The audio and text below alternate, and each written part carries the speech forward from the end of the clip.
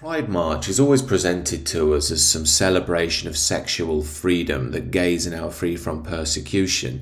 But I think many of us have seen through that and now see what Pride really is, which is ultimately just a liberal festival of degeneracy. It's a form of modern day secular worship. Now, as someone who holds to Christian values, it pains me to see pride flags all the way down Regent Street and then banging their drums and playing music all the time in London.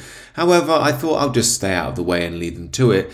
But that strategy hasn't served us well at all because they just go further and further each year, and I think they're crossing the line, in my opinion, when they start involving kids. Now, call me a fusty old traditionalist, but what you can see on your screen is footage from various pride marches. As you can see, they're simulating BDSM style sexual acts.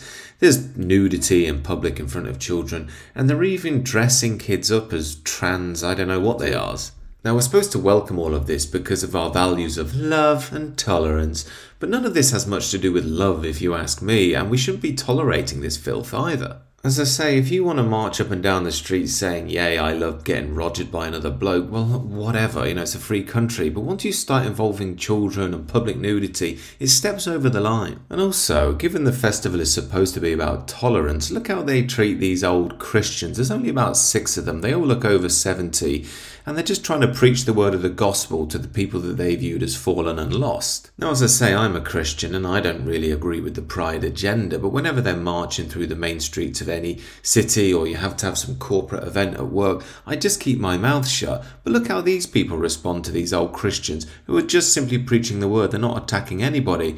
Very tolerant, aren't they? And to be honest, these pride marches don't know what's going on anyway. They're so addled with booze and speed and poppers, they're completely off their heads. But how does this even come into our culture in the first place? Well, I'm a father to a young son, and my wife recently sent me this clip. This is of a supposed Christian, quote unquote, woman who makes videos for toddlers on Instagram, and this is her view on pride. Happy Pride to all of our wonderful families and friends.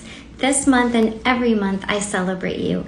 I'm so glad you're here. I'm so glad you're exactly who you are. Now, apologies for not warning you how grating that woman is. Why on earth does someone who makes content for toddlers have to celebrate Pride for? The reality is that she's fallen into the twisted moral universe of progressivism, and this is a really important point. I won't bother you with a big theological discussion, but that's what we're really facing in our age. We either have traditional values or we buy into these modern progressive ones that go right to the core of degeneracy. There is no middle ground anymore. We have to pick a side. Finally, as I'm often eager to state, these people are progressives. That means they constantly seek progress or what they term progress, that means they're not going to stop here. They're going to keep pushing that boundary further and further. It's only us that can stand up to that. Anyway, these are some of my thoughts. Please do let me know what you think about this madness down below, and please do consider subscribing to the channel.